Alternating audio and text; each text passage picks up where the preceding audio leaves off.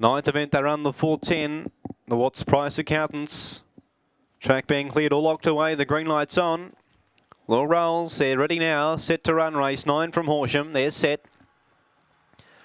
Racing away fast box two. Sacrificial showed good speed. So also the favourite Baby Steps mustering very good speed. Baby Steps goes through to lead. My boy Josh racing up to second. Third the inside Brigadoon Rose ahead of Sacrificial. Midfield Aston Randall ahead of Michigan Mia and Rosalind Bale on the turn. Baby Steps goes for home. Back to the inside Brigadoon Rose down the outside. Sacrificial. Baby Steps in front from Brigadoon Rose and Baby Steps will win. Baby Steps three quarters Brigadoon Rose. Third Sacrificial and fourth Aston Randall. In behind my boy Josh Michigan Mia back of the end Rosalind Bale and the runs 23.82. Baby Steps wins and scores nicely from the inside drawer and another favourite home here. One Baby Steps has beaten three Brigadoon Rose, two Sacrificial and the four Aston Randall.